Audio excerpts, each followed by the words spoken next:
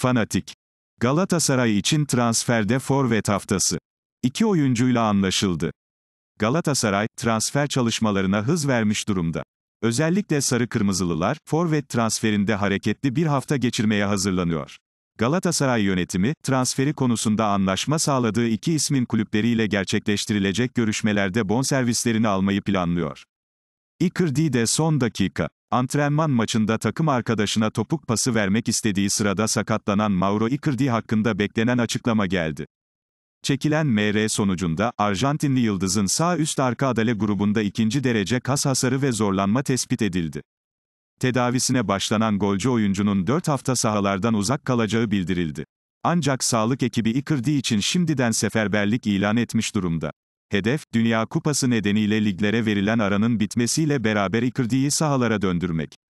Oliveira, aslanlar ölmez. Sarı kırmızılı ekipte antrenmanda sakatlanan bir başka yıldız Sergio Oliveira, son halinden bir fotoğraf paylaştı. Ayak bileğinin kötü durumda olduğu görülen 30 yaşındaki orta saha oyuncusu, buna karşın hızlı bir geri dönüş süreci yaşıyor. İlk etapta 45 gün takımdan ayrı kalacağı açıklanan, ardından 30 günde geri döneceği belirtilen Oliveira'nın tedaviye çok hızlı cevap vermesi yüzleri güldürdü. Sağlık ekibinin sıradaki hedefi, Oliveira'yı kupa arası sonrasında oynanacak ilk lig maçı olan İstanbul Spor mücadelesine yetiştirebilmek. Sıra şampiyonluk karelerine. 1905 Galatasaraylı Yöneticiler ve İş İnsanları Derneği'nin her yıl geleneksel olarak düzenlediği Sarı Kırmızı Kareler yarışmasında sonuçlar açıklandı. Galatasaray Başkanı Dursun Özbek, toplantıya katılarak dereceye giren yılın karelerini tek tek inceledi. Favori fotoğrafı sorulan Özbek, Alanya Spor maçından önceki koreografinin değerlerimizi çok iyi yansıttığını düşünüyorum. Anıtkabir'e gitmemiz de çok güzel bir kareydi. Başarı, birbirini sevip birlikte hareket etmekle oluyor. Bunlar, Galatasaray'ın değerlerini ifade eden kareler, dedi ve ekledi, gelecek yıl burada şampiyonluk fotoğraflarını göreceğiz.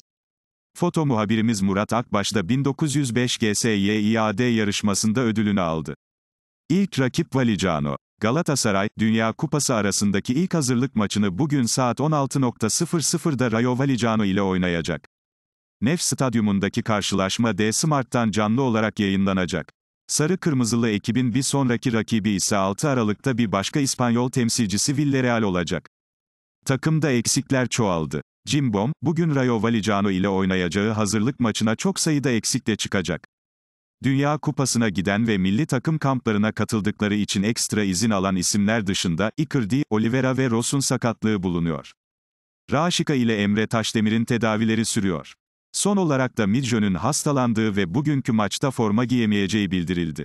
Aslan'da forvet haftası. Galatasaray, Musa Dembele ve Deniz Undav transferleri için harekete geçiyor.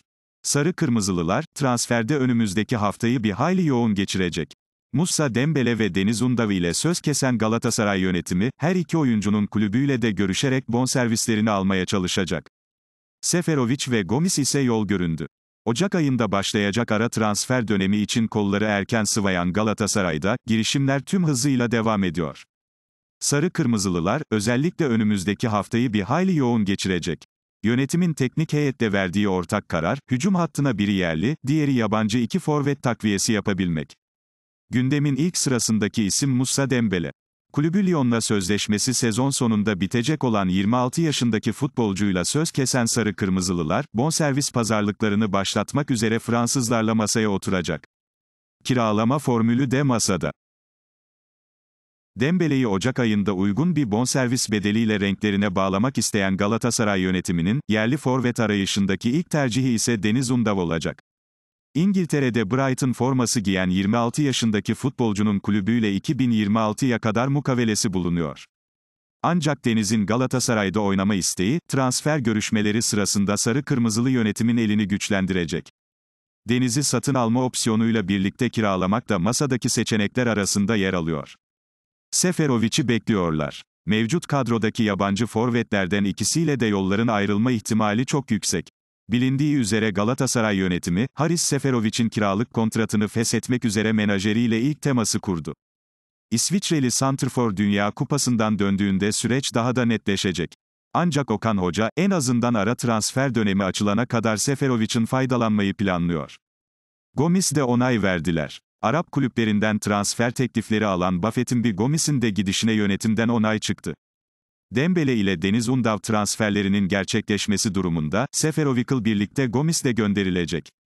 Sarı Kırmızılılar, sezonun ikinci yarısına Icardi, Dembele ve Deniz üçlüsüyle devam etmenin hesapları içerisinde. Metin Karabaş Anlık Galatasaray haberleri GS Haber ile telefonunuzda, Twitter ve Telegram'da. Günün haberleriyle podcast olarak Spotify ve Apple Podcast'lerde.